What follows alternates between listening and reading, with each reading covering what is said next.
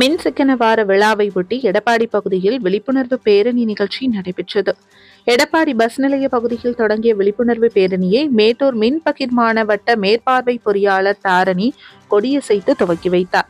பேரணியில் கலந்து கொண்ட மின் வாரிய ஊழியர்கள் மின்சாரத்தை பயன்படுத்திடும் நுகர்வோரின் மின்சாரத்தை சிக்கனமாக பயன்படுத்தும் வழிமுறைகள் குறித்தும் பாதுகாப்பான முறையில் மின்சாரத்தினை பயன்படுத்திட பின்பற்ற வேண்டிய பாதுகாப்பு அம்சங்கள் குறித்த விழிப்புணர்வு வாசகங்கள் அடங்கிய பதாகைகளை ஏந்தி நகரின் முக்கிய வீதிகள் வழியாக ஊர்வலமாக வந்தன.